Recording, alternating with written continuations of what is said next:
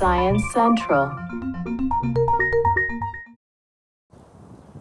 Mom was right when she told you to go outside and play, even when it was cold outside. Scientists have found that after taking walks, adults scored better on memory and attention tests than before the walk, but with one big condition. We found that when the participants re returned from the nature walk, uh, they showed a 20% improvement, but showed no improvement when they returned from the urban walk.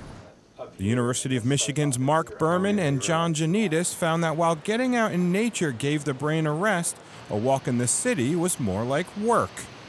If the environment doesn't require directed attention, doesn't require a lot of vigilance, doesn't require a lot of being careful, that kind of environment may be more restful than environments that require you constantly to have your antennas up. Writing in the journal Psychological Science, the researchers looked at the theory that we all have two kinds of attention. Directed attention is when we need to pay attention to something, like work, and that we eventually get tired from it.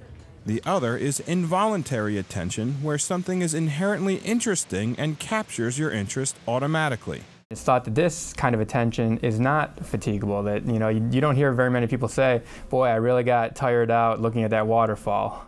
They think a city walk uses the same kind of attention as work, meaning while you might be outside, your brain is still working like it's inside. Brad Closa, ScienCentral News.